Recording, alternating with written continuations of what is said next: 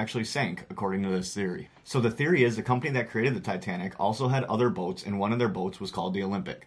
And supposedly, the Olympic had a couple collisions and it was on its last leg. So before the Titanic set sail, they switched ships.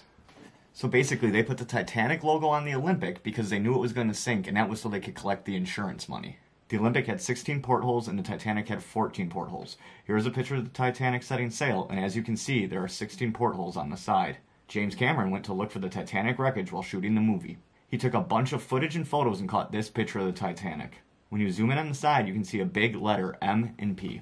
Around that time of the Titanic, there was a big coal strike, thousands of people out of work, yet no one wanted to work on the ship due to rumors going around town. Most of the rich people who got invited to the Titanic didn't even show up. JP Morgan had a ticket and decided not to go.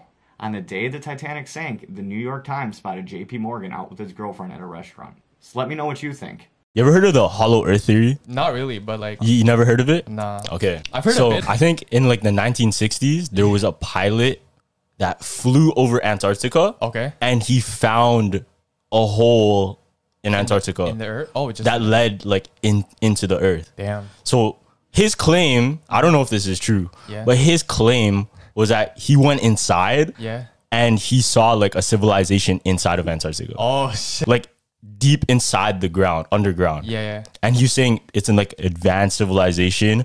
Like they have shit that we couldn't even create. Like robots? I don't know. Cause it just says advanced civilization, yeah, right? like, what is Okay, here's the crazy part though. Here's the crazy. So he said all of this shit, right? He came out with the news and everything and said it. Mm-hmm. Then the silenced him. Like Really? they, they told him like he couldn't talk about this shit anymore. Oh, shit. Damn. So that's how you know it's it's valid, bro. But like who knows, right? Like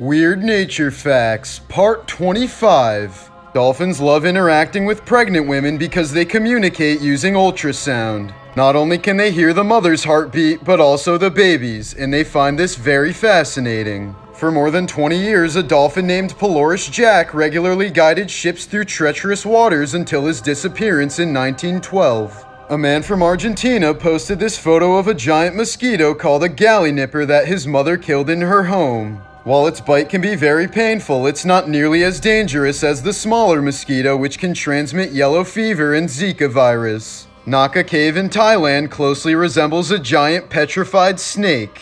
The average silverback gorilla is 4 to 9 times stronger than the average human male. They can deadlift 1800 pounds and their grip can crush the skull of a crocodile. So, guys, we all know of Taylor Swift and her new number one hit song, Me, but did you know that the Me music video hides hidden messages throughout it that'll unveil an even bigger secret that we aren't supposed to know? So, first we have the title of the song, Me, which is obviously one, and in the song we're introduced to Taylor's one new cat, Benjamin Button. Now, the next hidden message is through this snake, five letters, which allegedly represents her old album, and speaking of albums, here we see seven suitcases to represent that this will be her seventh album. And finally, we can't forget that this whole song is also made with Panic at the Disco's Brendon Urie, where his band's logo has a distinct three points to it. Now, guys, if we total these clues all together, we get 17. And here's where it gets creepy. If we look at what the 17th line in this song is, it is E E E. Flip that around and it says he he he. And who do we all know that says he he? That's right, Michael Jackson. Which means that Michael Jackson is still alive and helped make this song. So guys, spread the word because Michael's back.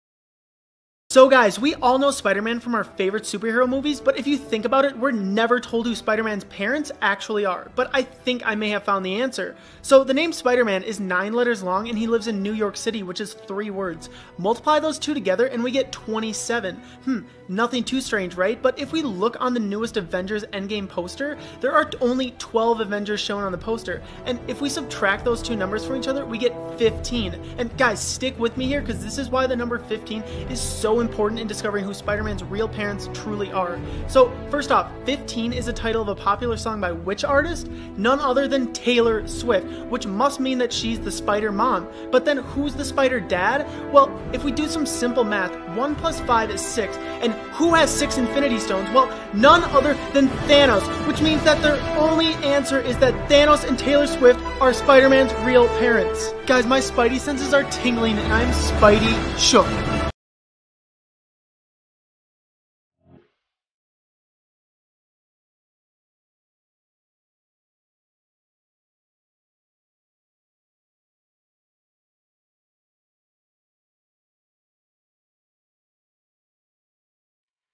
Have you ever heard about Tupac faking his death and moving to Cuba? No.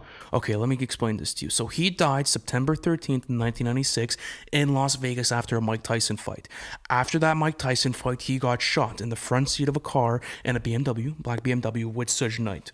Okay, now apparently that whole thing was staged. Like it never went down. What actually happened is that at that show that night um, he had a security of entourages um, that brought him out and that actually imported him to the barbados apparently. Now where am i getting this source from? Someone named michael nice a british bodyguard that was actually there that night um, that was doing that, that was doing security for tupac said he actually assisted him in bringing him to Cuba. That's crazy, Not only man. that, but Suge Knight has actually came out and said that Tupac is actually living in Cuba.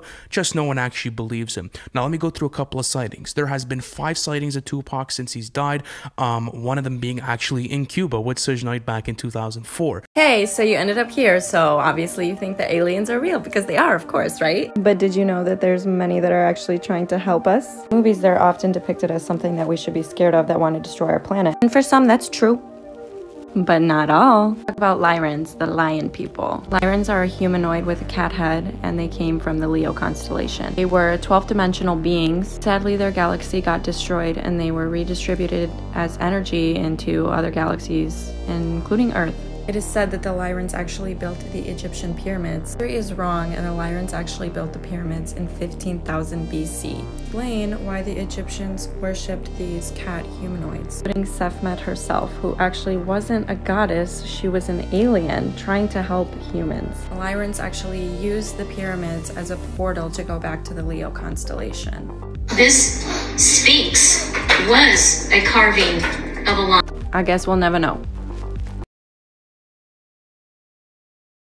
So y'all trying to hear the thought that kept me up last night? So just so y'all know, there's never once been a completed T-Rex skeleton found. What about the one in Michigan with the T-Rex locked in battle with the Triceratops? That's not actually true. It wasn't even in Michigan. It wasn't a fucking T-Rex. But I digress. I don't have time for that argument. The point is, there's never been a completed T-Rex skeleton found. Which means they've made most of this animal up.